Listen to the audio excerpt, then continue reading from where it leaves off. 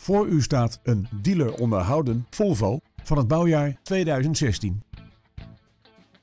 De dieselmotor geeft deze auto sportieve prestaties en zorgt voor een laag brandstofverbruik. Het sportieve karakter is ook terug te vinden in het interieur, waar een sportinterieur, een sportstuur en sportstoelen de sfeer bepalen. Deze auto is daarbij voorzien van een sportonderstel, een sportuitlaat en parkeersensoren. Met voorzieningen als automatische stabiliteitscontrole, traction control en een snelheidsbegrenzer bent u altijd veilig onderweg. Tevens wordt deze auto geleverd met nationale autopas.